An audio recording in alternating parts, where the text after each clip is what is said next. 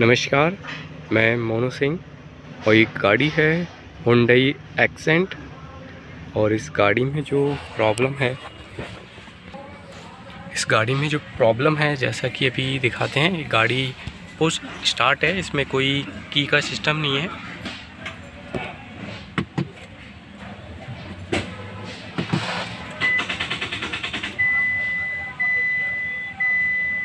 जैसा कि देख सकते हो, गाड़ी स्टार्ट नहीं होगी।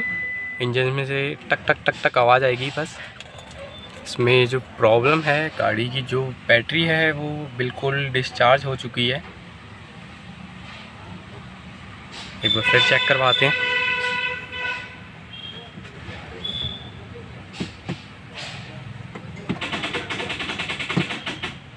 ये।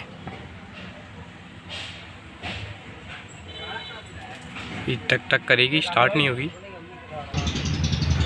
इसमें जो प्रॉब्लम है, वो इसकी बैटरी की है। मीन जो बैटरी है, बिल्कुल डाउन हो चुकी है।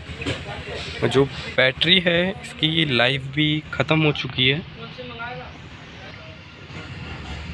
जैसा कि देख सकते हो, जो बैटरी है 2016 की लगी हुई है।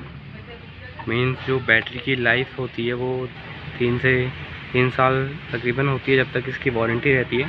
तो अब ये जो बैटरी है वो ख़राब हो चुकी है और बैटरी जो साइडों से भी फूल चुकी है।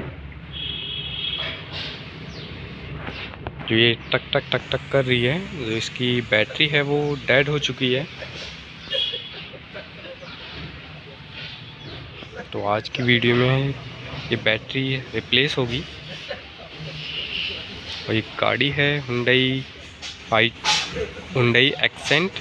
Kappa engine, Kappa 1.2 और जो गाड़ी में टक टक टक टक आवाज़ आ रही है, जो स्टार्टर मोटर है प्रॉपर वर्क नहीं कर रहा है, क्यों, क्योंकि उस तक प्रॉपर वोल्टेज नहीं पहुँच पा रहा है, और जो दिक्कत है वो इसकी बैटरी में है, नौ छः, नौ, दो हज़ार सोलह।